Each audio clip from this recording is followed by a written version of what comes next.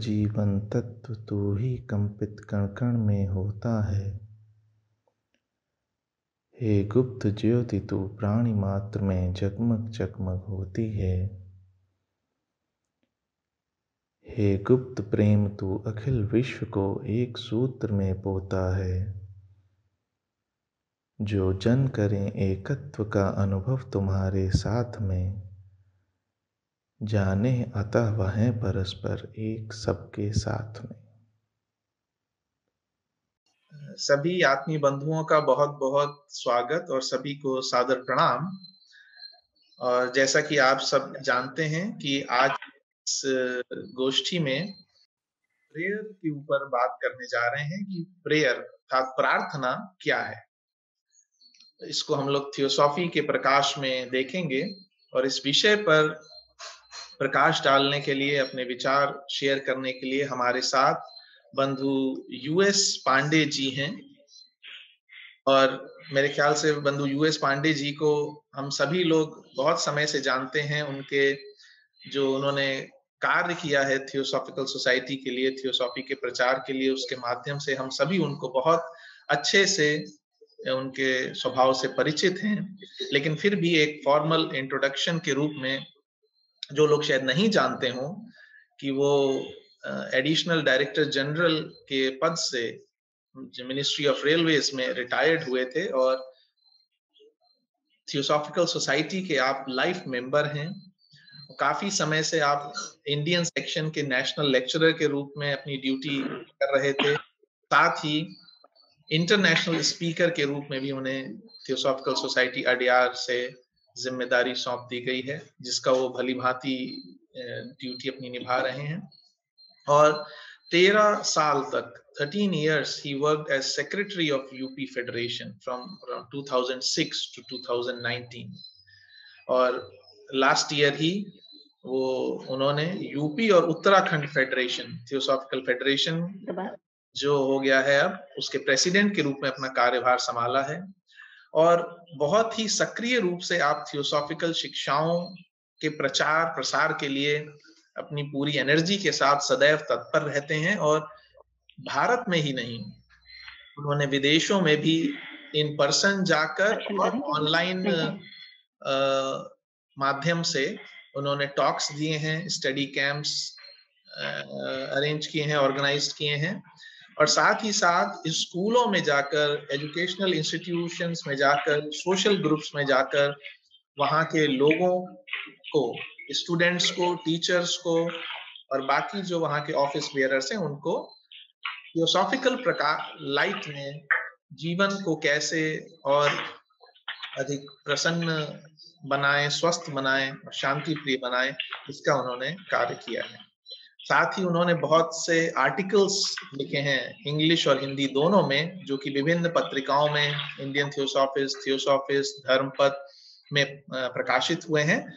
और रिसेंटली ही उनकी पुस्तक थियोसॉफी के आयाम, जिसमें उनके लिखे हुए 21 21 आर्टिकल्स का कलेक्शन है हिंदी में, वो पब्लिश हुई है। बहुत ही अच्छी बुक है। साथ ही वो टीओएस का कार्य भी करते हैं, काफ़ी चैरिटेबल संस्थाओं से जुड़े हुए हैं और ट्रांसपेरेंसी इंटरनेशनल इंडिया के बोर्ड ऑफ़ मैनेजमेंट में भी वो एक मेंबर रहे हैं और अगर मेरी दृष्टि से देखें तो मेरे ख्याल से उनको हम कह सकते हैं कि वो थियोसॉफी को पूरी तरीके से जीने का प्रयास करते हैं और वही उनके जो टॉक्स हैं, उनके टॉक्स की जो गहराई है और उनका प्रभाव है वो हम तक सभी तक आता है।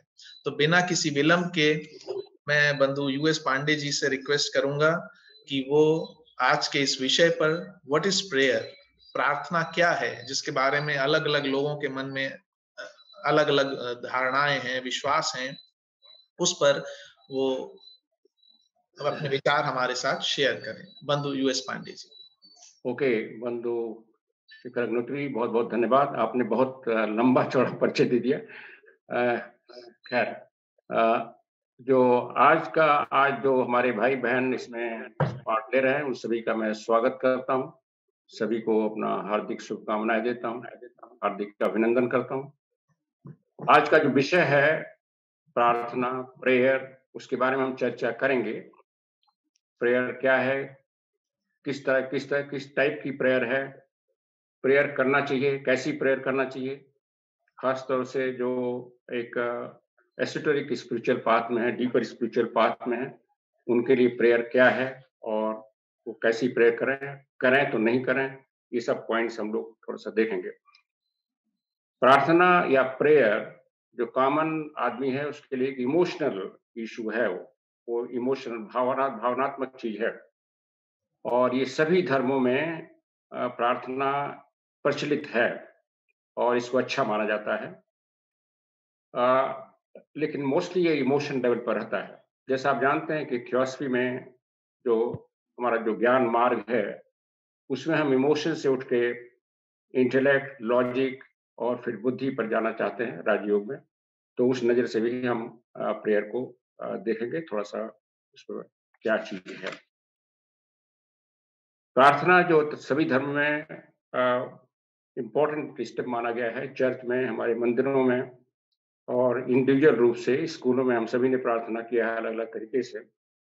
सो so, ये है क्या और फिर इसका जो प्रकृति के नियम है उससे और क्या संबंध बनता है और उसका प्रभाव होता है कि नहीं होता है ये भी हम लोग देखते हैं। जो रिलीजियस प्रैक्टिसेस हैं कभी जो भीड़ के लिए होती हैं जनमानस के लिए होती हैं उसका कभी कभी जो आपने इतिहास पे अध्ययन किया होगा, उनके लिए थोड़ा सा मार्ग वो उल्टा हो जाता है या उसके विपरीत होता है। वो कभी कभी हम लोग अजीब भी लगता है। ये पॉइंट भी इसमें शायद थोड़ा सा आएगा। अब जो हम देखें, जो प्रेयर है, एक जनरल रूपरेखा की प्रेयर देखें कि प्रेयर में क्या किया जाता है। एक तरह की प्रेयर होती है जिसमें कॉमनली बहुत से प्रेयर जो कॉमन मनुष्य की होती है उसमें एक पटिशन होता है, एक आवेदन पत्र होता है, वो अपने इष्ट देव से या भगवान से या किसी देवी से क्राइस्ट से, कृष्ण से, शिव जी से हम कुछ चाहते हैं, मांगते हैं पर्सनल या अपने परिवार के लिए कुछ मांगते हैं। हमें बीमारी है, वो ठीक हो जाए, हमारा कुछ नुकसान हो रहा है, वो ठीक हो जाए। नहीं कुछ तो हमारा तरक्की हो जाए, हमारा ट्रांसफ़र रुक जाए, हमें ये मिल जाए, वो मिल जाए। ये पर्सनल एक पिटिशन होता है। और ख़ास तौर से जब आदमी परेशान होता है किसी चीज़ में और वो देखता है कोई और रास्ता नहीं है तो वो समझता है कि हम किसी ऐसी पटिशनरी प्रेयर करें तो हमें कुछ हो जाएगा। और बहुत लोग क्लेम करते हैं होता भी है बीमारी ठीक होने की क्लेम बहुत लोगों ने किया है आ, लेकिन बहुत लोगों ने ये भी कहा है कि नहीं होता है। मैं एक एग्ज़ाम्पल दूँ हमारे दो आ, मैं रेलवे सर्विस था कि दो रेलवे सर्विस ऑफिसर से मेरी पर्सनल बात हुई एक रिटायर्ड एक सर्विंग एक सर्विंग ने कहा कि मेरा ट्रांसफ़र हो गया था और मैंने अपने इष्ट देव की बहुत प्रार्थना की रुक जाए और नहीं रुका तो मैंने बंद कर दिया और वो इष्ट देव की जो मूर्ति थी उसको फेंक दिया। दूसरे जो रिटायर्ड थी, वो करे थी, मेरा हुआ था, मैं भी चाहती थी ट्रांसफ़र रुक जाए तो मेरा तो ट्रांसफ़र रुक गया। सो ये अलग अलग अनुभव होते हैं कि क्यों होता है, क्यों किसी का फुलफिल होता है, किसी का नहीं होता है, ये भी हम लोग देखेंगे।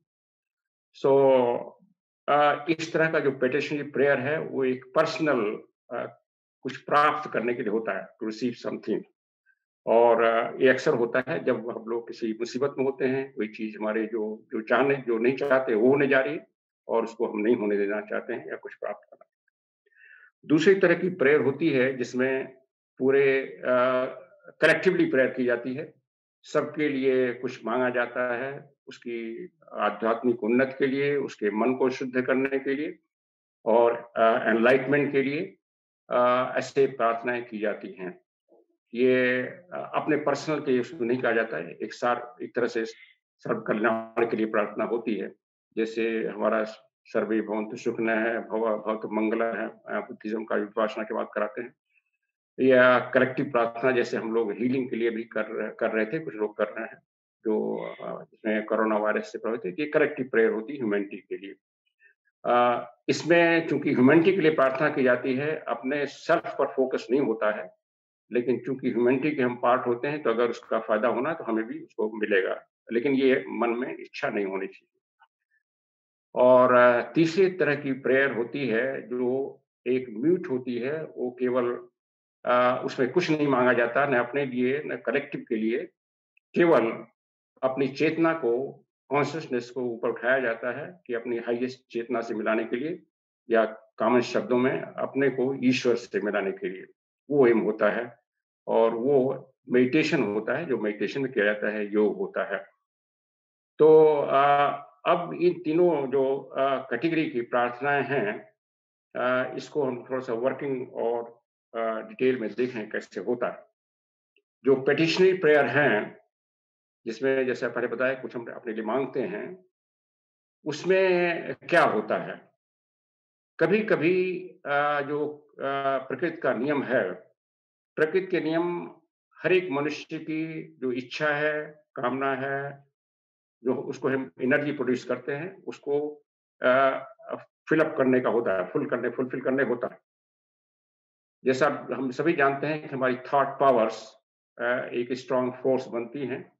और जैसे हम कुछ सोचते हैं, और ख़ास तौर से अगर उसमें इमोशंस भी है इंटेंसिटी भी है तो वो एस्ट्रोमेंटल लेवल पर और मेंटल लेवल पर वो फॉर्म लेते हैं और उसमें वहाँ के एलिमेंटल्स आकर के प्राण शक्ति देते हैं विफाई हो जाते हैं। और वो जहाँ जाते हैं, कहीं और जाते हैं और जो हमारे, जो हमने सोचा था, उसका कहीं ना कहीं सोर्स ढूंढते हैं और वो चीज़ हमारे पास आती है। ये जो जो और इसमें अगर विल मिला जाए दृढ़ इच्छा शक्ति मिला जाए तो उसमें और भी सर्टेनिटी हो जाती है। लेकिन डिपेंड करेगा कितना स्ट्रांग विल हो कितना स्ट्रांग थॉट हो कितना स्ट्रांग इमोशन हो इस पर डिपेंड करेगा। इनफैक्ट एक एक और किताब है उसमें एक ऑथर ने लिखा है मिस्टर कुरान कि वो वो रिलीजियस नहीं है स्पिरिचुअल नहीं है। और वो कहते हैं कि आ, हमने खुद इससे प्रयोग किया है और अपनी इच्छा विल पावर से जो भी चीज़ हमें चाहिए थी हमारे पास आई है। जैसे उन्होंने एग्ज़ाम्पल दिया कि मान लीजिए हमें मर्सिडीज कार चाहिए, हमारे पास नहीं है। हमने तीव्र इच्छा किया और कोई न कोई ऐसी परिस्थिति बनी हमारे पास मर्सिडीज कार आ लेकिन इसमें जो वही विज्ञान के विद्यार्थी नहीं हैं, वो तो समझते हैं, बड़े खुश होते हैं। लेकिन जो हम लोग हैं, उसमें ये समझना चाहिए कि उसमें कुछ न कुछ कर्म का प्रभाव आता है। और क्योंकि हम जो प्रयास नहीं किए उसके लिए कुछ चाह रहे हैं और खासतौर से उसका उपयोग अक्सर हम एक आरडी आदमी कोई ऐसी चीज़ मिल जाती है गलत उपयोग कर देता है तो एक कर्म चीज़, कर्म का प्रभाव एडवर्स हो जाता दूसरा ये चीज़ कुछ इनविजिबल हेल्पर हैं, अदृश्य सहायक हैं, जो एक, जो तीव्र वेदना, तीव्र आवाज़ किया उनके पास जाती है, और वो कहीं न कहीं हमारे उसके रिलीफ के लिए आ जाते हैं। बहुत हायर जो भक्त हैं, वो क्लेम करते हैं कि शायद उनके इष्ट देव भगवान भी आते हैं लेकिन अगर लॉजिक से देखें कि भगवान जो है, क्या उसको ये काम है कि छोटी छोटी चीज़ों को छोटी छोटी इच्छाओं को पूरा करे? तो उसका एक बहुत बड़ा काम है जो है देवता है और मुझे नहीं लगता कि वहाँ से कोई शक्ति आती है और ये हमारा साहित्य भी इसको इंगित करता है कि लेकिन इंडिविजुअल हेल्पर हमारा खुद जो थॉट पावर है विल पावर ये काम करती है। लेकिन कुछ लोग काम क्यों नहीं क्यों नहीं करती? ये भी इसको हम देखें। या तो उनका जो संकल्प शक्ति कम है, या उसके पीछे इंटेंसिटी कम है कंसंट्रेशन कम है, और, या दूसरा, कोई ऐसा कर्म पहले का है जो उसमें अवरोध कर रहा है। क्योंकि सारी प्रकृति कर्म के नियम से चलती है, और ये जो फुलफिलमेंट ऑफ़ हमारा जो प्रेयर है, ये भी कर्म के नियम से बाहर नहीं हो सकता। तो अगर हमारा कोई पुराना कर्म ऐसा है कि वो हमें अवरोध कर रहा है तो हम कितनी भी तीव्र इच्छा करें कि बुरा कितनी भी तीव्र विल पावर करें वो नहीं होगा। और ये शायद एक्सप्लेन करता है कि एक का ट्रांसफ़र नहीं रुका, एक का रुक गया। तो और अगर आप देखें तो और इसको मैडम ब्रॉस्की भी कहती हैं कि ये जो फुलफिलमेंट होता है, जो भी होता है, ये एक मिस्टीरियस पावर है प्रकृति में कि आप तीव्र इच्छा करें, तीव्र विल पावर करें तो उसको फुलफिल करती है। लेकिन subject to the karmic law कोई ऐसा कार्मिक अवरोध नहीं आ रहा है। और लेकिन एक एडवांटेज उसमें ये हम कह सकते हैं कि जो मनुष्य प्रेयर करता है वो शायद अपने को थोड़ा सा प्योरीफाइड समझता है थोड़ा सा आध्यात्मिक रूप से उन्नत समझता है वो समझता है लेकिन होता है कि नहीं ये भी हम लोग थोड़ा सा आगे देखेंगे। दूसरा जब दूसरी टाइप की जो प्रेयर है जो कलेक्टिव की जाती है उसमें कलेक्टिव शक्तियाँ जो इनविजिबल हेल्पर हैं जिसको स्पिरिचुअल पावर कहा जाता है वो आ, आती हैं उनका डाउन पोरिंग होता है एक आह्वान जो करते हैं और वो कुछ न कुछ प्रभाव डालती है। कलेक्टिव पावर का जो जो प्रेयर है, उसका स्ट्रेंथ ज़्यादा होता है। अगर उसमें जो आदमी कर रहे हैं ग्रुप कर रहे हैं, उनकी कोई निस्वार्थ, कोई कोई उनका स्वार्थ नहीं हो, उसकी शक्ति बढ़ती है। और उनका प्रभाव जो हम चाहते हैं, उस पर भी पड़ता है। और खास तौर से जो ग्रुप या जो इंडिविजुअल प्रेयर कर रहे हैं, किसी के साथ मिलकर के उन पर भी रिएक्शन होता है। क्योंकि जो सुप, जो सुप, जो सुप्रियर डिवाइन एनर्जी फ्लो करती है ऊपर से जब मन को शांत करते हैं और ये इच्छा करते हैं कि सबका भला हो तो वो हमारा जो जो आध्यात्मिक प्रिंसिपल्स हैं जो अभी सोए हुए हैं जैसे हायर मनस बुद्धि इस पर एक्ट करते हैं रिएक्ट करते हैं और वो जागृत वो एक्टिवेट होना शुरू करते हैं। तो इससे हमारा जो हमारा स्वयं का फ़ायदा होता है भले हम उसको न जाने पाए। हमारा जो मोनाइड है, जो जीवात्मा है, वो ज़्यादा सक्रिय होता है और हमें अपना जो पर्सनालिटी, जो नेचर, लोअर नेचर है, उसको भी कंट्रोल करने में मदद मिलती है फ़ायदा होता है। और ये देखा गया है कलेक्टिव पावर का, प्रेयर का अपना स्थान है। और ये कलेक्टिव जो प्रेयर है अपने और हायर रूप में ये जो मेडिटेशन वाली प्रेयर उससे मर्ज करती है ऑलमोस्ट वही हो जाती है। तो जो मेडिटेशन प्रेयर है, उसमें कुछ नहीं मान, मांगा जाता अपने लिए। कलेक्टिव कुछ मांगा जाता है। केवल अपनी चेतना को, एक हायर चेतना के साथ, दिव्य चेतना के साथ गॉड की चेतना के साथ मिलाया जाता है। जो, जैसा हम बताया मेडिटेशन ये योग होता है। और उसमें जो उसमें जो फ़ायदा होता है, भला होता है, वो बाकी दो प्रेयर से कई गुना होता है। उसमें अपना भी होता है, जो उद्देश्य है अपनी आध्यात्मिक यात्रा का, पथ का और पूरी मानवता का फ़ायदा होता है। हमारा नेचर बेसिकली चेंज होना शुरू हो जाता है, और मेडिटेशन से, योग से, और उससे आसपास के वातावरण प्रभाव पड़ता है, जिसके संपर्क में आते हैं, उससे प्रभाव पड़ता है, और उसका प्रभाव ज़्यादा व्यापक होता है। अब हम इस थोड़ा सा हम थियास्टिक जो लिटरेचर है, उससे हम इसको प्रकाश में देखें। उसमें अगर की टू थियोसफी में देखें तो उसमें प्रश्न और उत्तर के माध्यम से ब्लॉड्सकी ने कई चीज़ों को एक्सप्लेन किया है। एक चैप्टर में आता है कि आप प्रेयर करती हैं, नहीं करती हैं तो बड़ा क्लियर अंतर है no we do not pray क्यों नहीं प्रे करते हैं? उत्तर ये आता है। कहते हैं, जब मनुष्य को प्रे करता है तो उसके मन में किसी देवता की, देवी देवता की जो प्रे करता है तो उसके मन में कहीं कहीं अपना सेल्फिशनेस होता है। जैसा मेजोरिटी में होता है, हमने एक्सप्लेन किया पहले। हमें कुछ मिल जाए या हमें कोई जो नहीं मिलना चाहिए, जो जिसको हम नहीं चाहते हैं, वो नहीं आवे मेरे पास। कोई विपत्ति नहीं आवे, कोई ये नहीं आए और मेरे मुझे। करें स्वार्थ उसका हो जाता है। और चूँकि चूँकि कर्म का नियम ही अटल है, अपरिवर्तनीय है, उसके बाहर कुछ नहीं हो सकता। और, जो मनुष्य जिसके लिए उसने प्रयास नहीं किया ज़िंदगी भर, वो केवल कुछ देर के लिए प्रार्थना के साथ अगर मिल जाए वो कैसे हुआ कर्म का नियम तो ब्रेक करने की कोशिश कर रहा है। और अगर बाई चांस हो जाता है जैसे आपने बताया कि उसके मैकेनिज्म है थॉट पावर की विल पावर की और इनविजिबल हेल्पर की देव शक्तियों की एक मैकेनिज्म है। कोशिश करते हैं। तो आ, उसको एक तरह से वो सेल्फ रिलायंस खत्म होता है। वो समझता है कि हम तो ऐसा करेंगे और हमारा ये फुलफिल हो जाएगा तो हम अपनी मेहनत क्यों करें? अपना अपना, अपने को ठीक करने की क्यों कोशिश करें? जैसे एक उदाहरण के लिए मान लीजिए, अगर कोई बीमारी है, अगर हमारी बीमारी ठीक हो जाती है प्रार्थना से तो हम शायद बीमारी के बारे में, अपने हेल्थ के बारे में उतना केयरफुल नहीं रहेंगे।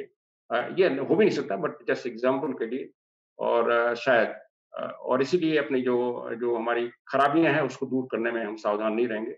हम जो भी चाहेंगे, शायद हो जाएगा। और दूसरा इसमें ये होता है कि हम जो है एक इगोइज्म बढ़ता है, ये कहती हैं प्लॉट्स की इगोटिज्म बढ़ता है कि शायद हम ज़्यादा भक्त हो गए और हमारा पड़ोसी उतना भक्त नहीं, हमारी इच्छा पूर्ति हो गई।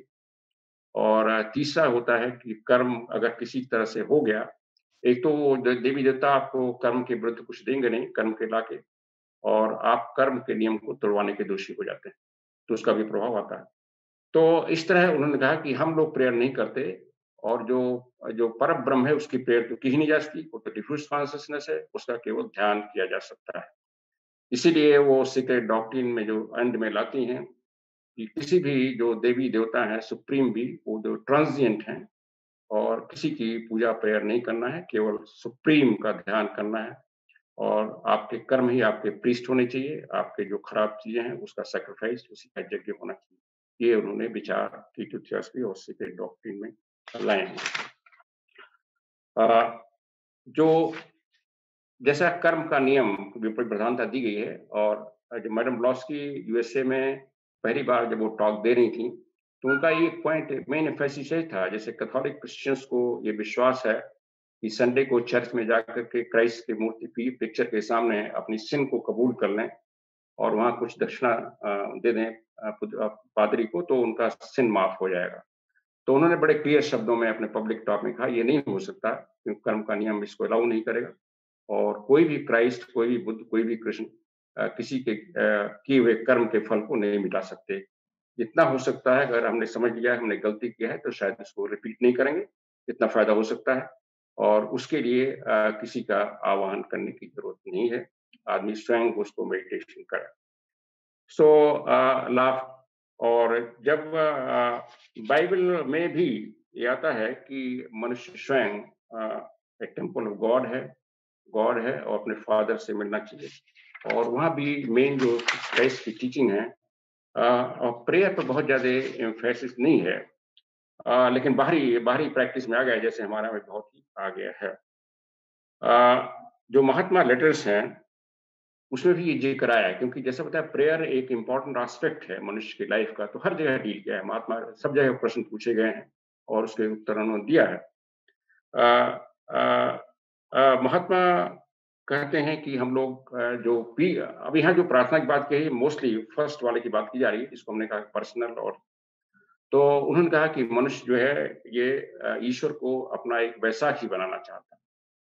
अपने अपने अपने, अपना प्रयास नहीं करना चाहता किसी चीज़ के लिए और बैसाखी बनाना चाहता क्रच बनाना चाहता है। और दूसरा उन्होंने कहा कि देव शक्तियाँ हैं, उनके अपने काम हैं। और उनका काम ये नहीं कि आपकी छोटी मोटी जो इच्छाएँ हैं और विष हैं उनको पूरा करें। वो अपने आप प्रयास से आप ठीक कर सकते हैं। जैसे हमने बताया कि मेडिटेशन का इफ़ेक्ट होता है, बीमारियों को ठीक करने में कैंसर भी ठीक करने में लोगों ने क्लेम किया है और हुआ है। तो और एक दूसरे जगह लिखते हैं कि मनुष्य जब किसी विपत्त में होता है तो क्राई करता है उसके कराह की आवाज़ निकलती है। लेकिन कराह कोई सुनने वाला है नहीं, कोई सुनता नहीं, क्योंकि कोई सुनने वाला नहीं। कोई सुनने वाला जब नहीं है तो उसका मतलब ये नहीं कहते हैं, कोई है नहीं। देव शक्तियाँ हैं, ईश्वर भी हैं। लेकिन उनका ये रोल नहीं है, वो कलेक्टिव रूप में मानवता को एक नियम के अनुसार काम करेंगे और उस मानवता के समूह में आ जाते हैं तो आपका होगा, अगर आप उसको अपने भी तरह से प्रयत्न कर रहे हैं। और इसलिए उन्होंने कहा कि केवल मनुष्य ही मनुष्य की मदद कर सकता है, और चूँकि हम मनुष्य हैं तो हमारा ऑब्लिगेशन है हम मदद करें सकते तो सेल्फ रिलायंस की बात की अब हम थोड़ा सा इसमें देखें जो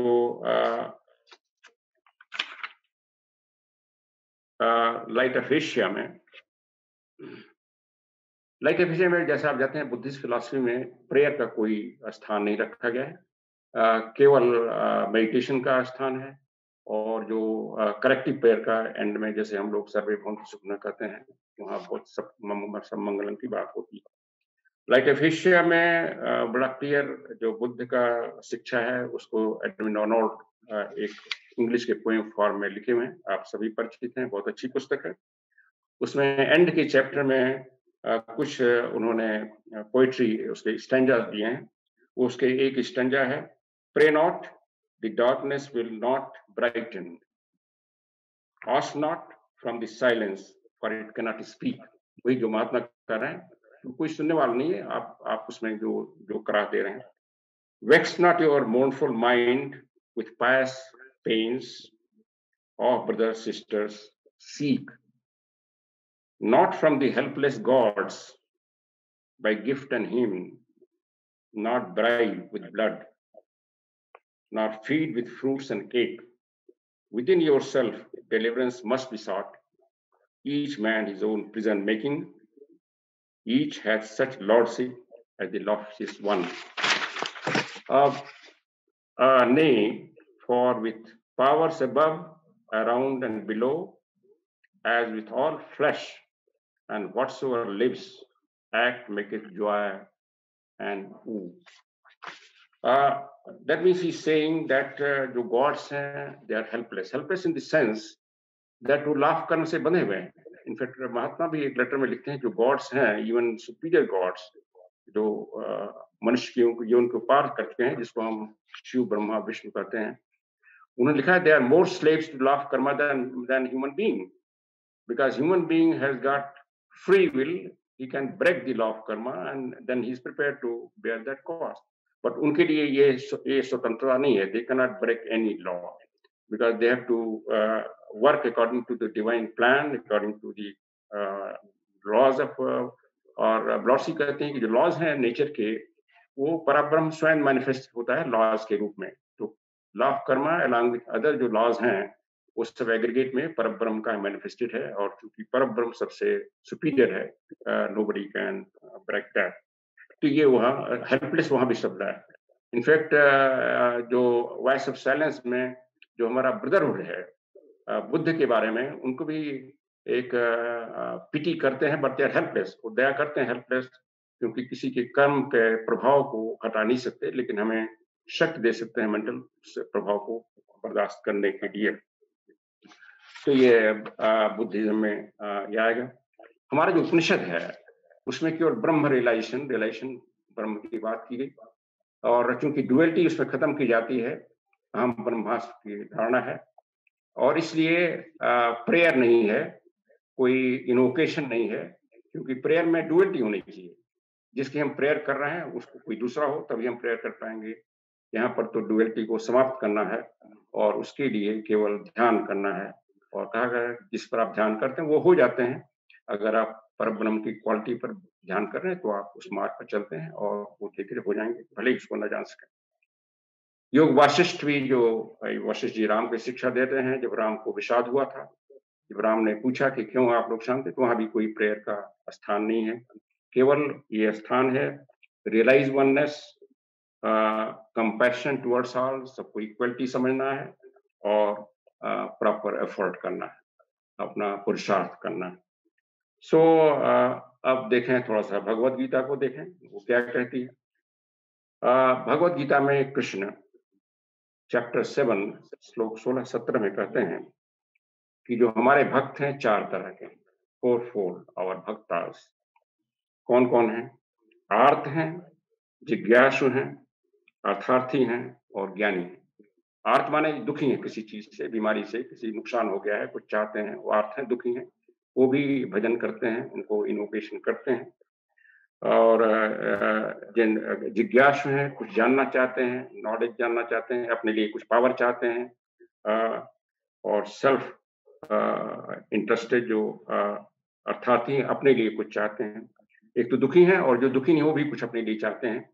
और चौथा ज्ञानी। तो वो कहते हैं कि इन चारों में से जो हार्मोनाइज रहता है ज्ञानी रहता है वो मुझे सबसे प्रिय है। और बाकी तो सब भी प्रिय हैं लेकिन जो ज्ञानी है वो वो स्वयं मैं, मैं मेरा स्वरूप है मैं ही हूँ। तो ये सब वो कहते हैं नोबल नोबल सभी हैं लेकिन जो वाइज हैं उसको मैं स्वयं अपना रूप में समझता हूँ अपनी तरह समझता हूँ। क्योंकि उस उन्होंने अपने को मुझसे यूनाइट कर दिया है वही योग के साथ और इस तरह से वो इसको हाइएस्ट पार्ट करते हैं। आ, और वो कहते हैं ऐसे लोग कई जन्मों के बाद आ, जब अपने उनका विजडम प्रवीण हो जाता है परफेक्ट हो जाता है तो वो हमारे नेचर के हो जाते हैं और वो सब में वासुदेव को कहते हैं वासुदेव बन जाते हैं। सबको अपना जैसा समझते हैं सबको एक साथ समझते हैं वननेस की भावना आ जाती है। उनका बर्ताव उस तरह से हो जाता है। जो और कहते हैं, बाकी जो लोग हैं, उनके जो फ्रूट्स हैं फ्रूट आएँगे कुछ उनको। जैसे उन्होंने बताया कि उन पेटिशन पेयर के फ्रूट्स आते हैं। कहते हैं, उनके फ्रूट फाइनाइट होते हैं लिमिटेड होते हैं और वो वो स्मॉल इंटेलिजेंस के लोग हैं जो ऐसी बाकी तीनों चीज़ मांगते हैं। स्मॉल इंटेलिजेंस उनकी जो समझ उतनी नहीं है। जैसे बताया कि कॉमन भीड़ है, उसकी उतनी समझ नहीं है। और वो लोग जो शाइनिंग वंस हैं, जो देवता हैं उनकी जो, उनकी वर्शिप करते हैं, उनको जाते हैं और फिर वो जन्म मृत्यु के चक्कर में रहते हैं। एक कृष्ण का अब थोड़ा सा मॉडर्न साइंटिस्ट की बात हम करें अल्बर्ट आइंस्टीन अल्बर्ट आइंस्टीन जानते हैं, एक, आप जानते हैं, बहुत बड़े वैज्ञानिक थे और साइंटिस्ट वैज्ञानिक थे और था, खास तौर से उनका विजन बहुत वाइड था और सब जगह इंटरेक्शन करते थे। एक बार वो न्यूयॉर्क गए थे कि एक छह साल की लड़की ने उनसे पूछ लिया कई चीज़, कई प्रश्न हो रहे थे उनके लेक्चर के बाद कि विज्ञान वैज्ञानिक लोग प्रेयर करते हैं कि नहीं करते? साइंटिस्ट लोग डू दे साइंटिस्ट प्रे और नॉट अब आइंस्टीन एक छह साल की लड़की के प्रश्न का ये जवाब क्या दें? लेकिन वो समझ गए, वो तो एक प्रज्ञा वाले व्यक्ति थे ही। डीपर प्रज्ञा थी उनकी कि इस छोटी बच्ची को जो अगर इसने प्रेयर इसने ये क्वेश्चन कहा है, पूछा है तो उसको क्वेश्चन उसके सेटिस्फेक्शन का मिलना चाहिए और खास और खास तौर से जो साइंटिस्ट रियली हमारे जैसे बिलीव करते वो भी बताना चाहिए। मैंने कोई घुमा फिरा के हम नहीं बताएँगे कोई कहानी नहीं सुनाएँगे सीधे बात करेंगे। अब उन्होंने जो कहा है उसको मैं आपके सामने थोड़ा प्रस्तुत करता हूँ। उनका जवाब इंग्लिश में है। वो, उसका जवाब दे रहे हैं छह साल की बच्ची को कि do the scientist pray. Scientist scientific research is based on the idea that everything that takes place is determined by the law of nature. And this holds for the action of the people also. For this reason, a scientist will hardly be inclined to believe that events could be influenced by prayer. In other words, by a wish addressed to a supernatural being. आगे चलते हैं everyone who is seriously involved in the pursuit of science becomes convinced that a spirit is manifest in the laws of the universe. A, spirit vastly superior to that of man and one in the face of which we, with our, with, with our modest powers, must feel humble. In this way, the pursuit of the science leads to a religious feeling of a special sort, a special nature, which is indeed quite different from the religiosity of the someone more naive. वो वही भाव आप देखें जो secret doctrine में almost same ideas is bringing in a reply to the six year old girl uh, in response to her question do scientists pray that everything is governed by law of nature and a man is not out of that. Man cannot escape from that law of nature. और second uh, में कहते हैं कि हम ये नहीं believe कर सकते साइंटिस्ट कि किसी प्रेयर किसी इनोकेशन से कोई प्रभाव को बदला जा सकता है। कर्म तो हमारे पास प्रभाव है। लेकिन चूँकि वास्ट सुपीरियर पावर काम कर रही है we must be humble we must follow the laws of nature और इस सेंस में वो कहते हैं हम लोग रिलीजियस हैं but not in the sense of the common man who that something can be obtained to that. so, ये ये अगर इस प्रकाश में देखें तो अब क्वेश्चन उठेगा कि हम लोग क्या करें? वॉट वी शुड डू जो हम लोग डीपर फिलोसफी में हैं डीपर साधना में हैं हाँ इसके बारे और भी कह दें पहले। जो पतंजलि का योग सूत्र है उसमें भी प्रेयर का कोई स्थान नहीं है। और आप देखें जो सेवन पोर्टल्स हैं उसमें कोई स्थान नहीं वॉइस ऑफ़ साइलेंस का। सो so, प्रेयर एक कुछ लोगों के लिए यूजफुल हो सकती है अच्छी भी हो सकती है लेकिन जो डीपर फिलोसफी में है अध्यात्म साधना में है डिवाइन विजडम में है फिलोसफी का राजयोग फॉलो कर रहे हैं उनके लिए उस तरह की प्रेयर जो पेटिशनरी प्रेयर है बिल्कुल नहीं करना चाहिए। क्योंकि ये भी कहा गया है कि जो लाभ कर्म को नहीं जानते, अगर कुछ गलती करते हैं तो उनके ऊपर अगर कोई जो प्रभाव आता है मान लीजिए एक्स आया, और अगर जो लॉ को समझता है, वो गलती करता है तो उसके पास टेन गुना प्रभाव आएगा। अगर कोई एक इग्नोरेंट आदमी कोई एक खराब कम करता है, अगर उसका प्रभाव एक्स आता है तो जो, जिसको नॉलेज है, ज्ञान कर्म का, वो अगर वही गलती करता है तो उसका प्रभाव दस गुना आएगा टेन टाइम्स आएगा। सो so, हमें केयरफुल होना चाहिए। पेटिसनी प्रेयर तो कभी नहीं करना चाहिए। अपने अपने व्यक्ति के लिए व्यक्तिगत के लिए कलेक्टिव प्रेयर में हम लोग ज्वाइन कर सकते हैं कर, और करना चाहिए कभी कभी जैसे एंड ऑफ़ मीटिंग हम लोग करते हैं। जैसे हम लोग हीलिंग मेडिटेशन कर रहे थे।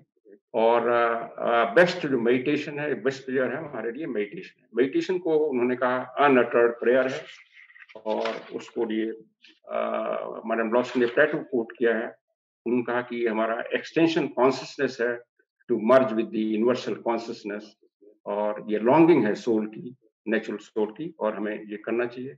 और इसलिए मेडिटेशन पर आ, काफ़ी प्रभाव है जितने भी डीपर हैं हमारे ये चीज़ें। आप में से जो रमना महर्षि आश्रम में गए हैं जहाँ तक मुझे याद है वहाँ भी कोई ऐसी फॉर्मल प्रेयर कॉमन टाइप की नहीं होती और लोग ध्यान ही करते हैं। तो जितने इस तरह से इवन जो शंकराचार्य के, जो मठ हैं, वहाँ भी कोई ऐसी प्रेयर नहीं करती। मैं भी वहाँ गया था कांचीवरम में। तो जो डीपर फिलोसफी है, उसमें जो पेटिशनरी पेटिशनरी प्रेयर तो ऑलमोस्ट रूल्ड आउट कर दिया गया।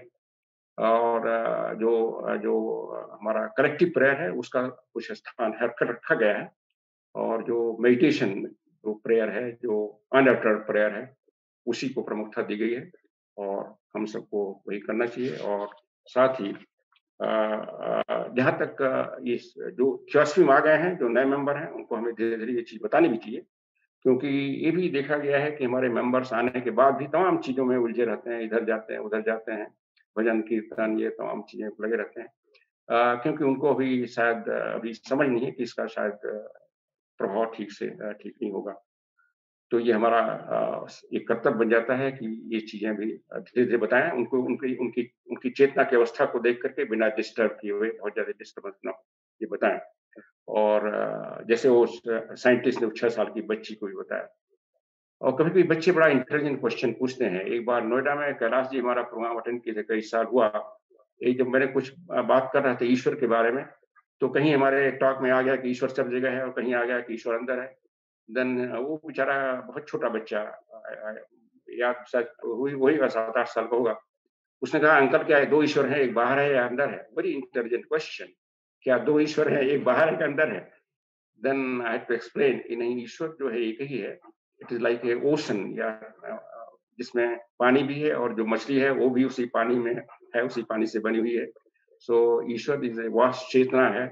यूनिवर्सल कॉन्सियसनेस है ओशन है। और वही कॉन्सियसनेस हमारे अंदर है।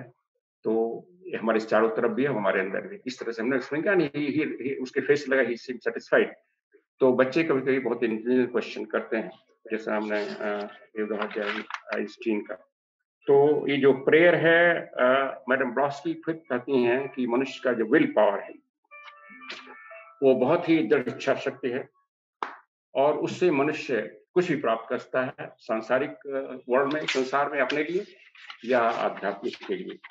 लेकिन उन्होंने कॉशन किया है, अपने पर्सनल के नहीं इस्तेमाल करना चाहिए। आपको हो जाएगा वो। जैसे मान लीजिए कोई बीमारी हमें खुद हो गई है, अगर हम दृढ़ इच्छा शक्ति करें तो बीमारी ठीक हो जाएगी। बट वो बीमारी परमानेंट ठीक नहीं होगी, वो रुक जाएगी। और फ्यूचर में, क्योंकि कर्म के नियम से आ रही है, कर्म के प्रभाव से आ रही है, और फ्यूचर में अलॉन्ग विद इंटरेस्ट आएगी, और हमेशा ज़्यादा उसमें तकलीफ़ होगा। और कलेक्टिव प्रेयर में शामिल हो जाए जैसे हमारा जो स्पिरिचुअल हीलिंग होती है। लेकिन उसमें भी एक कर्म का जो एक आवाज़ दिया था कि कर्म के नियम के अंदर ही हो। इनफैक्ट इसी में डब्ल्यू पी जज का भी एक आर्टिकल है कि जो उसमें आ, हम लोग हीलिंग करते हैं मेंटल हीलिंग उससे कार्मिक प्रभाव पड़ता है। वो केवल जो उसका जो बीमारी वगैरह उसके जो कर्म के प्रभाव से आ रही है। उसके माइंड स्टेट में वापस चली जाती है रुक जाती है but it cannot be stop permanently और बाद में आती है। ये जब कर्नल अलकॉट लोगों को ट्रीटमेंट कर रहे थे तो भी ज़िक्र आता है, एक ब्लाइंड आदमी था, उसको उन्होंने छुआ, उसका ब्लाइंडनेस खत्म हो गया बट छह महीने बाद फिर उसकी ब्लाइंडनेस आ गई और बाद में मास्टर्स ने ये सब उनको मना किया। तो इसीलिए जो रियल आध्यात्मिक मनुष्य हैं, जैसे बुद्ध है, उनको शक्तियाँ थी बट उनके जीवन में कभी नहीं आएगा, उन्होंने किसी को प्रे करके ठीक कर दिया। क्राइस्ट के जीवन में कभी कभी आता है कि कोढ़ियों को कर दिया, वो कर दिया बट उसका एक्सप्लेन किया है बेसिन ने कि क्राइस्ट चूँकि एक अडेप्ट थे, वो समझते थे कि उसका कर्म का नियम कैसा है। और वो जब देखते थे वो स्टेज की कर्म का नियम जो प्रभाव आ रहा है, खत्म होने जा रहा है, उस समय वो कुछ बोलते थे और उसमें ठीक हो सबको नहीं बोलते थे क्योंकि हिंदू होता है, वो भी कर्म के नियम के विपरीत नहीं जाएँगे तो इस तरह से इस लाइट पे अगर हम देखें तो थोड़ा सा हमें ज़्यादा साफ़ होता है हमारे लॉजिकल पॉइंट से कि प्रेयर क्या है, कैसे किया जाए, क्या किया जाए और ख़ास तौर से अपने लिए, हम लोगों के लिए जो इस मार्ग को अपनाए हुए हैं और जिस मार्ग पर चलना चाहते हैं। अदरवाइज़ कभी कभी जैसे आज हमने एक मैसेज भेजा है कि हमें सबसे ज़्यादा डर ये होना चाहिए कि हम जिस पाथ को चुने उससे भटक तो नहीं रहे और अगर हम पेटेसी पेड़ में जाते हैं तो मेरा विचार है कि उससे भटकना हो जाएगा। सो so, इन शब्दों के साथ मैं शिखर जी को स्मृति जी को धन्यवाद देता हूँ कि उन्होंने मुझे इनवाइट किया और आप लोगों से इंटरेक्शन का मौका दिया इस विषय पर। धन्यवाद।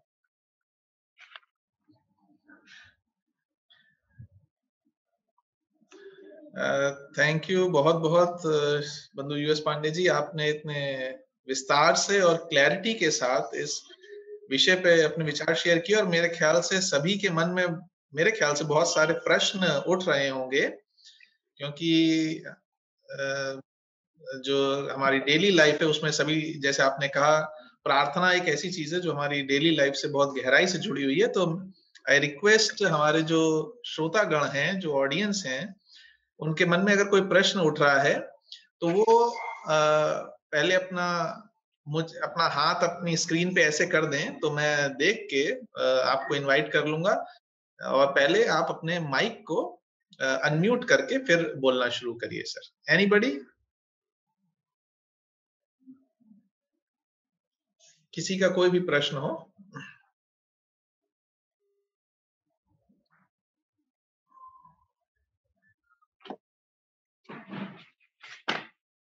हाँ यस विमल जी आप प्रश्न पूछना चाह रही हैं? जी जी। वेरी नाइसली एक्सप्लेन थोड़ा सा क्या था कि uh, आप काफ़ी फास्ट बोलते हैं अगली लेक्चर में सब कुछ समझ में आएगा। अगर ऑल्सो uh, अगर शिखर इसको इसको रिकॉर्ड कर रहे हैं तो वो यूट्यूब में डालेंगे तो एक बार फिर से सुनूँगी और अच्छे से समझूँगी। uh, आप करेक्टिव प्रेयर की बात कर रहे थे second second type of prayer correct corrective collective collective collective collective. yes. इसका एग्ज़ाम्पल अगर आप एक दें तो अच्छा रहेगा। जिसे बड़ा अच्छा सीधा एग्ज़ाम्पल है, सर्वे भवंत सुखिना, सर्वे संत निरामय, सर्वे भद्राणी पश्यंतु माँ कश्चित भाग। Collective prayer we are asking everybody should be happy सबका विचार शुद्ध हो। दिस इज़ कलेक्टिव प्रेयर या बहुत सब मंगलम, सबका कल्याण हो। लाइक दैट प्रेयर उसमें पर्सनल ओरिएंटेशन नहीं रहेगा। पर्सनल फोकस नहीं रहेगा कि हमारा कल्याण हो हमारा भला तो आपका पॉइंट ये है कि ऐसे प्रेयर से पर्सनली चेंज इंसान होता है जब ऐसा प्रेयर yes. करता है। Yes yes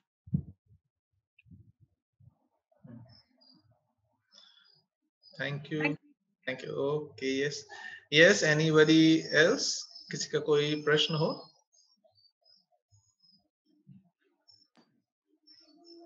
Hello hello. जी। यस लोखंडे जी।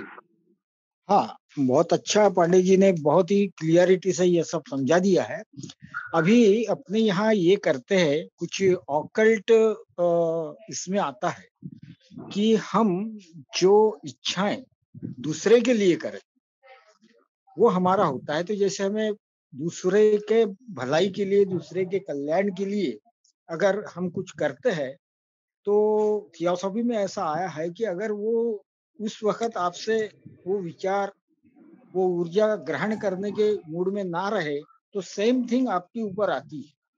तो जो आप अपनी ज़िंदगी चाहते हो, जैसी चाहते हो, उसकी दूसरे के लिए काम कामना करना। ये एक तरीका है कि हम अगर अपना कल्याण चाहते हैं तो हमको दूसरे के कल्याण के लिए प्रार्थना करना चाहिए। ऐसा भी एक उल्लेख मैंने पढ़ा है तो जैसे हम इसको इस रेफरेंस में दिया है, अगर हम किसी को शाप देते हैं या किसी का गलत ये करते हैं तो वो अगर उसको रिसीव नहीं करता है, वो कोई दूसरे विचारों में है तो वो सारे के सारे दुर्विचार आपके ऊपर आके आघात करते हैं। तो यही फार्मूले को पकड़, जो स्थिति आप अपने लिए चाहते हो, वैसी कामना दूसरे के लिए करते रहिए। तो उसका एक पॉजिटिव इफ़ेक्ट आपके लिए भी आएगा। और मुझे इतना ही कहना था कि प्रार्थना में जैसा हम किसी का बुरा भी चाहते हैं, वो भी एक प्रकार की निगेटिव प्रार्थना है, लेकिन उसका असर अपने पे ही होता है। तो अगर हम अपना जैसा जीवन चाहते हैं, वैसे जीवन के लिए दूसरे के लिए प्रेरणा करना, दूसरे के लिए प्रार्थना करना चाहिए। तो इसका इफ़ेक्ट होता है, जो आपने बड़े इससे ये किया है प्रार्थना ऐसी हो जिसमें किसी जैसे अपने फिलोसॉफी में कहा है कि वो पर ब्रह्म का ही स्मरण हो वो एक ऊँची स्टेज है लेकिन सर्वसाधारण इंसान के लिए आ, ये ऐसा नहीं होता। इतना ही मुझे ऐड करना था। हाँ तो पंडित जी आपने बहुत अच्छा पॉइंट किया है और ये हमारी जो स्पिरिचुअल हीलिंग है उसमें यही है उसमें हम लोग नाम भी लेते हैं इंडिविजुअल पेशेंट का हाँ। और उसके लिए कामना करते हैं कि जो डिवाइन पावर है उसको हील करे। लेकिन उसमें साथ में जोड़ा जाता है कि प्रोवाइडेड उसका कर्म समाप्त हो गया तो पास करिए। और उसमें पर्सनल नहीं होना चाहिए इसमें वो अपने ये बात ख्याल रखे उसका पर्सनल मेरे ऊपर प्रभाव आएगा प्रभाव आएगा बट हम्म। वो माइंड में नहीं होना चाहिए। और इसीलिए रिकमेंड किया है उस ग्रुप में कोई ऐसा ना बैठे जिसका कोई रिलेशन के लिए प्रार्थना की जा रही है। क्योंकि जब रिलेशन होगा तो हमारा पर्सनल इमोशंस उसमें हो जाएगा। तो बार बार ऐसे प्रथाओं में जिस की आप बात कर रहे हैं, उसमें बार बार इम्फेसिस किया गया है, उसमें कोई पर्सनल के लिए अपना चीज़ नहीं होना चाहिए फोकस उसका प्रभाव आएगा but we should not have any inkling आप उसकी इच्छा नहीं हो कभी भी मन में। और अदरवाइज़ उसमें हमारा लोअर इमोशन मिल जाता है और उसको एक तरह से प्रभाव ठीक नहीं आएगा। धन्यवाद। ओके सर थैंक यू बंधु लोखंडे जी और कोई प्रश्न किसी का हो? हेलो। हाँ जी। नमस्कार पांडे जी। नमस्कार मैं किस्मत श्रीवास्तव। हम्म, व्याख्यान बहुत ही प्रभावशाली था सब बातें समझ में आ गई। लेकिन एक प्रश्न मेरे मन में है कि जब विचार इतने शक्तिशाली हैं विचार मैनिफेस्ट होते हैं तो और शब्द को ब्रह्म कहा गया तो जो हम कोई विचार करते हैं किसी के लिए पॉजिटिव विचार करते हैं तो उस पर वो पॉजिटिव इफ़ेक्ट डालता है उस व्यक्ति पर। और अभी हम उस लेवल पे नहीं हैं कि हम ये सोचें कि ये हमारा नियर एंड डियर है, जैसे कोई व्यक्ति बीमार है या हमारा कोई अपना है जो कष्ट में है, उसके लिए हम प्रार्थना ना करें। तो ये ये बात ज़रूर है कि वो कार्मिक लिंक हमें भोगने पड़ते हैं। उसका जो है वो उसके यदि कर्म डाइल्यूट होते हैं यदि आपने कहा ना कि कभी कभी व्यक्ति में यह अहंकार आ जाता है कि हमने उसके लिए प्रार्थना की और उसके जो है वो कुछ कर्म डाइल्यूट हुए तो हमको भी उसके कर्म बंधन शेयर करने पड़ते हैं। तो क्या ऐसा है कि जब हम किसी प्रियजन के लिए या अपने लिए नियर एंड डियर के लिए या अपनी फैमिली के लिए फ्रेंड्स के लिए कोई प्रार्थना करते हैं तो उसके कार्मिक लिंक हमको शेयर करने पड़ते हैं? लेकिन प्रार्थना का प्रभाव तो होता है, ज़रूर होता है, ऐसा मैं मानती हूँ। मेरे डॉक्टर चित्रे बताते थे कि हमारे जो है वो कॉन्शियस लेवल जो हमारा चेतना के सात स्तर हैं कि conscious mind margin of consciousness subconscious level unconscious depth of conscious dianetic conscious and superconscious mind तो जब हम मेडिटेट करके हम किसी के लिए प्रार्थना करते हैं तो मैनिफेस्ट ज़रूर हो है। बस मेरा प्रश्न ये है कि क्या उसके कार्मिक लिंक हमको शेयर करने पड़ते हैं? मेरा बस इतना सा प्रश्न है। धन्यवाद सुषमा जी, आपने भी बहुत इम्पोर्टेंट पॉइंट रेज किया और कार्मिक लिंक तो शेयर करना ही पड़ेगा। दूसरा चीज़ जैसा थियोसफिक लिटरेचर में आया है और मैंने वो डब्ल्यू पी भी कोट किया और अल्पॉट का भी कोट किया। कि जो जो चीज़ बेनिफिट आएगा बट दैट बी टेम्पररी अगर कर्म का फल उसको आना है उस व्यक्ति को तो बाद में मैनिफेस्ट होगा along with interest for the deferred period deferred हो जाता है और ये होता। तो हम लोग उसको, उस नियम को समझें।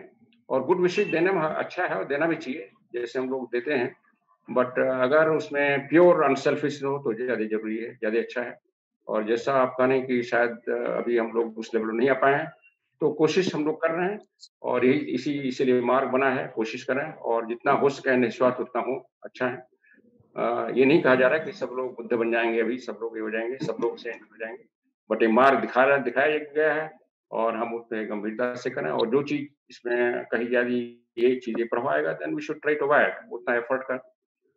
जहाँ तक पर्सनल विषय आशीर्वाद हम लोग देते हैं। लेकिन जनरली मैकेनिकल दे देते हैं उस पर प्रभाव नहीं पड़ता। अगर आशीर्वाद देते हैं गहरे में से प्रभाव आएगा और देना भी चाहिए वो देना भी चाहिए। लेकिन अगेन सब्जेक्ट टू उसके कर्मों के अनुसार आएगा। अगर हम किसी को कहें कि तुम आशीर्वाद देते हैं तुम फला फला तुम्हें लॉटरी मिल जाए तो लॉटरी तो मिलेगी अगर उसका प्रभाव किया है उसने कर्म किया है तो मिल जाएगा बट नॉट अदरवाइज़ बीमारी का भी बीमारी के लिए प्रार्थना की जाती है और इसका प्रभाव पड़ता है। देखा गया है इनफैक्ट रिसर्चेज भी हुए प्रभाव पड़ता है। लेकिन एक एसोट्रिक फिलोसफी से अगेन सिकेट डॉट ब्लॉट कहती हैं कि प्रार्थना प्रेयर देव जो लाए गए हैं ये एसोट्रिक फिलोसफी में भ्रांति दर्शन माने गए डिल्यूजन माने गए। सो so, चूँकि हम आ, हम मासेस की बात नहीं कर रहे हैं क्योंकि हम लोग एसोट्रिक फिलोसफी में हैं हमें अपने एंगल से देखना है। और जिस प्रिंसिपल की हम बात कर रहे हैं उस प्रिंसिपल के लाइट में कोशिश करें जितना काम करें। हम परफेक्ट नहीं हो पा जाए हो पा जाए हो जाएँगे हो जाएँगे। कोई नहीं उम्मीद करता कि इमीडिएटली पर गंभीरता से प्रयास तो अगर भ्रांति दर्शन है सब कुछ तो और सारी हमारी जो बात है उस भ्रांत से निकलना है डेलीजन से बाहर निकलना है तो हम उसी चीज़ में फिर न पड़े रहे ये ध्यान रखें। चलिए। बोलिए बोलिए बोलिए मैं मैं एक बात बोल रही थी अभी सुषमा जी और पांडे जी बोल रहे सब मैं तो प्रार्थना करते हुए सबका भला मानती हूँ इसका मतलब सबके कारण मैं भोगूँगी। ऐसा नहीं है ऐसा नहीं है। सबके कर्म नहीं मैं अपने कर्म भोग रही हूँ मैं अपना वो कर रही हूँ। आपको एक बात बता देती हूँ प्रार्थना में हम अगर किसी के लिए अच्छा सोचते हैं उसका प्रभाव हम पे पड़ता है। कैसे? कि वो अच्छा जो हम चाहते हैं वो हमें देना शुरू कर देना चाहिए। हाँ। अगर हम किसी के लिए बुरा सोचते हैं तो बुराई भी हंड्रेड टाइम्स होकर हमें मिलेगी पर अच्छाई भी हमें मिलेगी। ऐसा नहीं है हम किसी के कर्म नहीं भोगते हैं हम अपने ही कर्म भोगते हैं और हमको मैं तो सबका भला मांगती हूँ मैं सबके कर्म नहीं भोग रही हूँ। हम्म, हम्म। बिल्कुल सही आपने कहा बिल्कुल सही आपने कहा। हमें सबके कर्म नहीं भोग सकती। सबके कल्याण की सबके कल्याण सबके कल्याण अपना हाँ, सबके कल्याण में अपना कल्याण हो जाता है।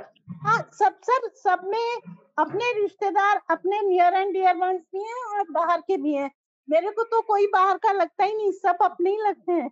हाँ तो आप आपका लेवल है है ना जो बात की है थी वो अच्छा है वो। हम्म, मैं मेरा उसी लेवल हम लोग पहुँचना चाहिए। थैंक यू हाँ बिल्कुल। थैंक यू सुनीता जी आपके आने के लिए और मेरे ख्याल से डॉक्टर विपुल जी कुछ कहना चाह रहे हैं? हाँ मेरा ये प्रश्न है कि क्या प्रार्थना से मोल्डिंग ऑफ़ कर्मा भी होता है? अगर इंटेंसिटी है हाँ। प्रार्थना में तो मोल्डिंग ऑफ़ कर्मा हाँ। एक मिनट। ये प्रार्थना से मोल्डिंग ऑफ़ कर्मा देखिए मोल्डिंग ऑफ़ कर्मा ये जो लिटरेचर है चस्की और ब्रॉड्स की टीचिंग महात्मा टीचिंग बड़ा क्लियर है कि दूसरे के प्रार्थना से हमारा कर्म नहीं मिटेगा। अपने लिए हम प्रयास करेंगे उसी से उसका प्रभाव चेंज होगा। स्वपुरुषार्थ है और दूसरे के प्रभाव से नहीं हटेगा। और ये इसकी भी एक अगर अगर आएगा तो टेम्पोरली कुछ होगा। अगर जैसे अगर कुछ बीमारी है किसी को तो टेम्पोरली वो रुक जाएगी, लेकिन बाद में वो आएगी। और उसके लिए अपने ही प्रयत्न करना पड़ेगा कि हम अपने हेल्थ का, उसका जो कोई गलती हो रही है हमारे आचार विहार में, उसको ठीक करें और प्रॉपर उसकी मेडिटेशन करें मेडिकेशन करें और अपने मेडिटेशन करें। इसमें मैं बताऊँ एक और एग्जांपल एक बार अमेरिका में एक लेडी मिली थी उनका उदाहरण दिया गया था।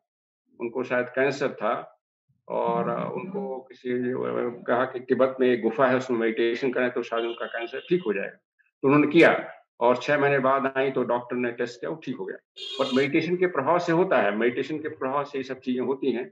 जैसे सारी हमारे जो सेल्स वगैरह चेंज होना शुरू होते हैं ट्रांसफॉर्मेशन शुरू होता है। तो हम खुद प्रयत्न कर रहे हैं उसमें मेडिटेशन से और आ, लेकिन उसमें खास तौर से बीमारी पर हम अटेंशन नहीं दे रहे हैं लेकिन अपने आप प्रभाव पड़ता है। इसको गोयनका जी अपने अपने वार्ता में कहते हैं कि जो मेडिटेशन से बीमारियाँ ठीक होती हैं बट ये एक्सपेक्ट नहीं करना चाहिए। अदरवाइज़ वो एक्सपेक्टेशन करके आपको मेडिटेशन नहीं शुरू करना चाहिए। अदरवाइज़ वो क्या होगा कि वो तो वो एक बाई प्रोडक्ट है, वो बाई प्रोडक्ट आएगा जैसे वो कहते हैं, चीनी चीनी बनती है, चीनी की मिल में तो शीरा तो निकलता है लेकिन शीरा निकलने का हमें उद्देश्य नहीं होना चाहिए।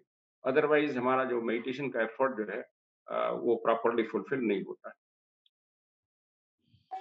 चलिए thank you sir thank you doctor Vipul ji अभी हमारे सामने दो लोगों के प्रश्न हैं। Vinita ji Vinita ji R S M T Varanasi से वाराणसी से। से आप प्रश्न वाराणसी से हम्म। हाँ, वाराणसी से हमारी Kalra ji?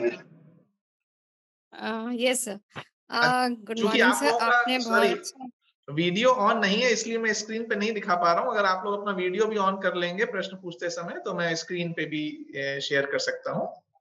Please Vinita ji. मेरा ये क्वेश्चन था कि आपने कहा जो कि एसोटेरिक में ये भ्रांति है प्रेयर्स इसको थोड़ा सा एलोबरेट करिएगा। और दूसरे दूसरा क्वेश्चन है कि आपने कहा जब कलेक्टिव प्रेयर्स होते हैं तो उसमें कोई रिलेटिव को नहीं इंक्लूड किया जाता है कि उसके लोअर इमोशन जुड़ते हैं। तो इसका क्या रिप्रकशन है? ये भी मैं समझना चाहूँगी। थैंक यू पहला जो है भ्रांति दर्शन भ्रांति दर्शन डिल्यूजन वो कहते हैं कि जो अपने लिए हम कुछ चाहते हैं पर्सनल किसी से मांग करके वो भ्रांत दर्शन है, क्योंकि कर्म का नियम काम कर रहा है। जो हमने एफर्ट किया है वो होगा। इसका मैं एक एग्ज़ाम्पल बताऊँ छोटा सा और ये का, काफ़ी जिसको हम समाज के नीचे का स्तर जो भी जानते हैं बहुत लोग और एक मैं एग्ज़ाम्पल बताऊँ एक बार एक एक छोटा सा एग्ज़ाम्पल बताऊँ एक बार मैं इलाहाबाद गया था। और स्टेशन से उतरा कई साल हो गए और रिक्शा पकड़ा और एक हमारे रिलेशन के घर जाना था और रास्ते में मुझे रिक्शे वाले जो बेचारे चला रहे थे वो हमसे एज में ज़्यादा थे। तो बीच में हनुमान जी का मंदिर पड़ता है सिविल लाइन्स में।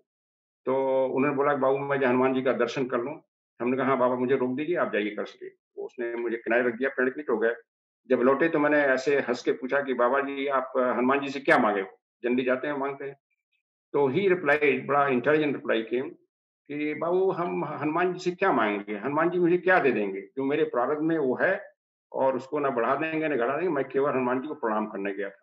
So this approach is a approach madam Blavatsky secretary doctor में कहती हैं the gods and goddesses जो है they are not object of worship but they are object of reverence because they are higher beings जैसे आप अपने father grandfather का इज़्ज़त करते हैं object of reverence and uh, because they are doing their work for uh, according to laws for the welfare for the upliftment of entire creation entire humanity so they must be revered but not worshipped not prayed for तो ये पहला था। दूसरा आपका जो था कि collective prayer में वो मैंने स्पिरिचुअल हीलिंग खासतौर से बात की है उसमें इंस्ट्रक्शंस में है कि अगर हमारा कोई क्लोज रिलेशन है जिसके लिए हम प्रेयर करने जा रहे हैं हीलिंग के लिए तो आ, हमारा जो इमोशन उनके प्रति एक जनरली रहेगा कि एक सेल्फिशनेस आएगी उनकी जल्दी ठीक हो जाए उनका जल्दी आ जाए so that that will vitiate the entire thing इसलिए कहा गया है कि आप उस ग्रुप में ऐसा व्यक्ति ना हो, जिसके किसी रिलेशन के लिए प्रार्थना की वो वहाँ से हट जाए दूसरा कोई समझ मतलब प्योरली इम्पर्सनल जो एस्ट्रोडिक फिलोसफी है, उसमें जो मार्ग है, इसमें बार बार कहा जाता है इम्पर्सनल होना है यूनिवर्सल होना है, कोई चीज़ सेल्फ से अटैच नहीं हो, कि मेरा कोई है, इसलिए उसका हो जाए। ऑर्डनरी सांसारिक लैंग्वेज में होगा, लेकिन उस आने पर वहाँ नहीं होगा। और इसीलिए जो कृष्ण कहते हैं कि जो ज्ञानी है, जो कुछ नहीं चाहिए अपने लिए, किसी के लिए they are most dear to me and they are as as myself तो हम लोग जिस मार्ग की बात कर रहे हैं वो थियोसफी का जो मार्ग है, उसकी बात कर रहे हैं, उसकी चर्चा कर रहे हैं। इसका मतलब नहीं कि हम एक्सपेक्ट करते हैं, सब लोग जो कर रहे हैं, वो बंद कर दें। That is not necessary but हमें जानना चाहिए कि क्या सही है, क्या गलत है, उसके अनुसार हमें चेंज करने की कोशिश करनी चाहिए। थैंक यू पांडे जी और आप पांडे जी की बात को आगे बढ़ाते हुए उसमें जो स्पिरिचुअल हीलिंग है, इसीलिए उसमें भी तो जो जो भी वेलबींग है, उसके लिए प्रार्थना की जाती है कि अगर व्यक्ति के शरीर छोड़ने में उसकी ज़्यादा भलाई है तो वो हो जाए, या अगर उसकी ठीक होने में भलाई है तो वो हो जाए। उसमें हम कोई अपना पर्सनल स्वार्थ नहीं डालते कि वो ठीक ही हो जाए, तभी अच्छा होगा, और दैट्स वाई वो पर्सनल है। एक प्रश्न और आया है, सर, एक, मेरे सदस्य ने पूछा है कि क्या प्रेयर से डेस्टिनी चेंज हो सकती है? और इसमें थोड़ा सा ऐड ये कर दें कि अगर प्रेयर हम प्रेयर ना कह के थॉट पावर कहें केवल मतलब प्रेयर किसी से नहीं की जा रही, अपनी थॉट पावर का ही इस्तेमाल कर रहे हैं तो क्या उससे भी डेस्टिनी चेंज हो सकती है? हाँ जहाँ तक देखिए थॉट पावर है, अगर नोबल थॉट्स हम भेज रहे हैं और उससे हमारा मेंटल बॉडी चेंज हो रही है, और हम हमेशा नोबल थॉट्स पर मेडिटेशन करें तो हमारा मेंटल बॉडी चेंज हो रही है, उसका ट्रांसफॉर्मेशन हो रहा है मेडिटेशन में and that is the utility of meditating on the noble quotations जो बात की गई है और फिर उससे नेचुरली जो मरने के बाद हमारा जो कारण शरीर बनेगा उसमें uh, अगले जन्म के लिए वो ज़्यादा और उन्नत स्टेट का होगा और वो प्रभाव चेंज होगा। बट इस समय जो हम कर रहे हैं इस समय जो काम का जो प्रारब्ध आ गया है हमारे सामने पिछले कर्म से वो नहीं चेंज हो सकता उससे वो आएगा। लेकिन इन दिस सेंस की जो अगर हमारे थॉट्स नोबल हो गए और इस तरह के हो गए तो हम उसका जो प्रभाव आएगा उसको एक आसानी से बर्दाश्त कर लेंगे। जैसे मान लीजिए कोई आपको कट हुआ बॉडी में, अगर हम समझते हैं कि कोई हमने गलती कर दिया तो हम घबराएँगे नहीं, हम कोई उसका कोई अटेंटमेंट लेके हम उसको लगाएँगे। अदरवाइज़ क्या हम चिल्लाने लगेंगे, रोने लगेंगे, ये लेंगे कैसे हो गया? आप जस्ट एग्ज़ाम्पल करिए सो दो हमारा जो प्रभाव है, हम डिस्टर्ब नहीं होंगे, उससे इतना फ़र्क होगा। बट वो प्रभाव आएगा, प्रभाव को झेलना पड़ेगा। That is why madam Blavatsky ने कहा कि चर्च में ये हरी क्राइस्ट की पिक्चर के सामने कुछ चढ़ावा करने से और सिन कबूल करने से आपका सिन नहीं खत्म हो जाएगा। सो so, लेकिन सिन को बर्दाश्त करने की आपकी शक्ति आ जाएगी। वो शक्ति आ जाएगी। Thank you sir yes yes please Sonal ji please so I had a question about bhakti marg that can is there a different role of prayer in uh, Bhakti Mark Because you have heard about, uh, um, you know, Ramakrishna Paramhans or other uh, people who had almost like a conversation with the deity. Um, and there will be a lot of um, you know intense um, you know asking of something you know why are you not showing yourself to me? Why i'm you know away from you? Why i'm separate from you etc so is that is that a different thing or um, uh, do we call it a prayer? सोना जी जो भक्ति मार्ग है अगर आप देखें तो उसके भी कई लेवल हैं जैसे प्रेयर के कई लेवल हैं। जैसे सबसे कॉमन जो भक्ति है कि आप देखेंगे मंदिरों में और चर्चेज में और इसे रिलीजियस कांग्रेशन में किसी ईश्वर की किसी देव के बारे में भजन किया जाता है उसको भक्ति मार्ग माना जाता है। उसमें पर्सनल चीज़ें आती हैं हमको ये मिल जाए वो मिल जाए नहीं तो कुछ बढ़िया प्रसाद ही मिल जाए लोग जाते हैं उसमें। जो हायर लेवल की भक्ति मार्ग है। अगर भगवत गीता की आपने अध्ययन किया है, उसकी भक्ति मार्ग को देखें तो बिल्कुल उसका जो प्रारूप एकदम बदल जाता है। इनफैक्ट गीते में भक्ति मार्ग को जब कृष्ण बात करते हैं तो ऑलमोस्ट आप देखेंगे जो ज्ञान मार्ग है, जो कर्म मार्ग है, उसी तरह है। जो अपने विचारों को ठीक कर ले, शुद्ध कर ले, सम्य कर ले, वो योग हो जाता है भक्ति योग। तो भक्ति हम किस लेवल की बात कर रहे हैं? जहाँ तक रामकृष्ण मिशन, रामकृष्ण परमहंस की बात की गई, वो डेफिनेटली बहुत एडवांस सेंट थे और वो काली के उपासक थे। लेकिन एक कहीं मैंने पढ़ा है कि उनके गुरु जो तोतापुरी थे एंड में आए कि तुम्हें काली की मूर्ति को तोड़ना पड़ेगा अदरवाइज़ तुम आगे नहीं बढ़ पाओगे, एक लेवल की। मूर्ति को तोड़ने का मतलब ये नहीं करें फिजिकली तोड़िए, अपने माइंड से उसको हटाना पड़ेगा इसलिए उनके जो शिष्य हुए विवेकानंद, उनके बारे में कहीं नहीं है कि उन्होंने कोई पूजा किया, किसी देवी की पूजा किया। एंड ही वो तो वेदांत के थे और मेडिटेशन तो करते थे एवरीबडी नोज़ तो फाइनली लोग उसी में जाते हैं और कबीर का फिलासफी एकदम साफ़ है। तो जो इस एसोटेरिक मार्ग में चलते हैं या डीपर मार्ग में चलते हैं उनका मार्ग भिन्न हो जाता है। ऑर्डनरी भक्ति मार्ग से। कबीर बहुत बड़े भक्त थे, लेकिन उस तरह की भक्ति नहीं थी जो एक जो कॉमन लोगों की भक्ति है। इनफैक्ट वो तो कहते थे कि आप उनकी साखियाँ पढ़ें। कि मंदिर, मस्जिद और गुरुद्वारे में कुछ नहीं है और सब कुछ। मॉडर्न टाइम में हमारे जय कृष्ण मूर्ति इतने बड़े आध्यात्मिक थे, गुरु माने जाते थे। उन्होंने भी इसको एक तरह से कोई ध्यान दिया, नकारा ही इसको। और यहाँ तक कि कर दिया कि मंदिरों के बारे में देर नो गॉड देर एक क्वेश्चन के आंसर में। तो हम किस लेवल की भक्ति बात कर रहे हैं? और अगर जैसे हमने गीता की भक्ति योग माने तो वो बिल्कुल उसमें नहीं है, ऐसा स्थान पर्सनल के लिए। या इसको ऐसे भी कह सकते हैं सर कि प्रार्थना और उपासना में अंतर है? हाँ थोड़ा सा अंतर है अंतर upasana is almost tending to meditation meditation yes upasana tending to meditation provided उसमें कोई पर्सनल उसमें कामना नहीं है कामना बिल्कुल। Okay okay thank you sir thank you Sonal ji और किसी का कोई प्रश्न हो प्लीज़ तो पूछ सकते हैं।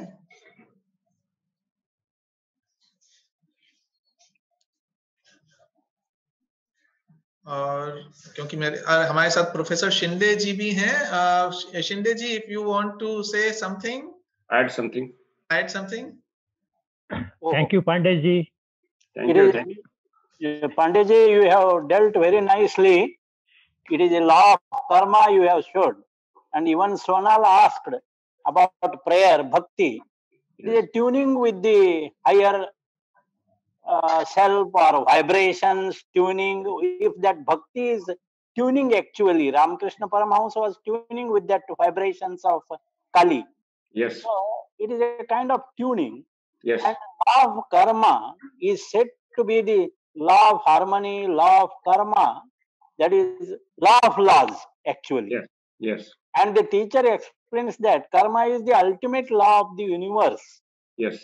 Source the origin it is uh, synonymous with the absolute life. Yes. So even if the law itself is unknowable in act, Yes. in action, its action is perceivable. Yes. It is unknowable, but its action is perceivable. If you do good, feel happy. If you don't do good, feel unhappy. That is a, a experience. Yes. This knowledge of law of karma and its functioning helps one to be aware, cautious, alert about his own whatever uh, ritual he is doing, either prarthana, prayer, or whatever he study, meditation, upasana. So he has to be aware. But law of karma brings definitely opportunity to pay our debt. We are debtors actually. We have done a lot of karma. We have to finish our karma. So law of karma brings opportunity and we must accept it gladly. That is what at the feet of the master it is shown. You have explained very nicely. I congratulate you. Even in Hindi, you nicely explained. Thank you, Shekhar, and thank you, uh, US Pandeji. Thank, Thank you, thank you, thank you, Professor Sinde, for your valuable thoughts. and as you explained, our daily life is prayer. हम अगर aware हैं अपने विचारों के बारे में अपने कर्मों के बारे में so we are praying thank you thank you professor Shinde ji thank you sir मेरे ख्याल से you. हाँ। Thank you, Shikhar ji. Thank you. Thank you हाँ सर किसी का और कोई प्रश्न है सर?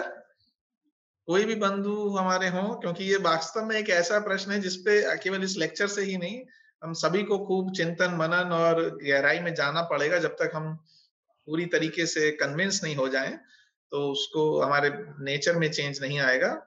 और अ, मेरे ख्याल से बंधु एस के पांडे जी भी हमारे साथ हैं तो वो अगर कुछ कहना चाहें।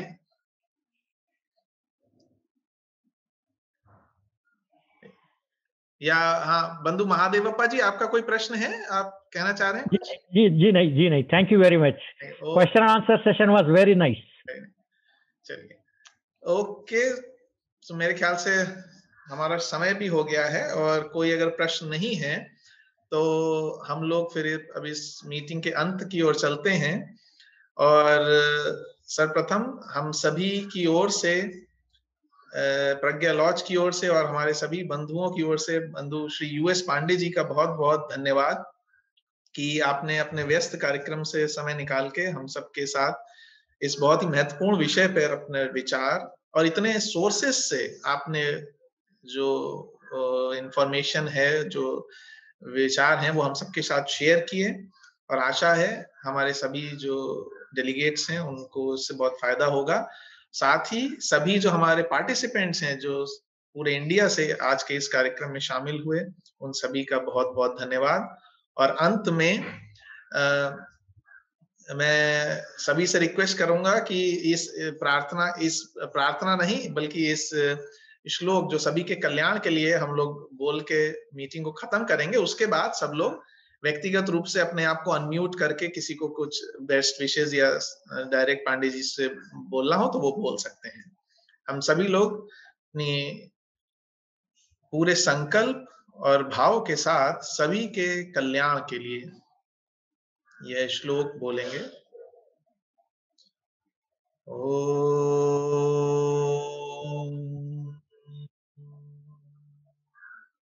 सर्वे भवन्तु सुखिनः। सर्वे सन्तु निरामयाः। सर्वे भद्राणि पश्यन्तु। मा कश्चित्। भगवे